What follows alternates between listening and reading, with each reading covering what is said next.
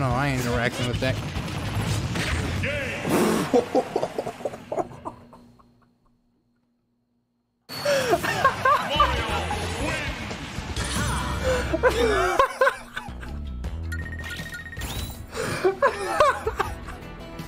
That's what I'm talking about, baby. That optimal gameplay. Oh shit, I got Richter now.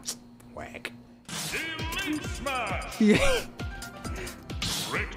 It's because he got hit with the knockback of the final hit of side B and then a sweet spot forward air. So it like side B sends this way and forward air sends down. So it like it did the middle ground.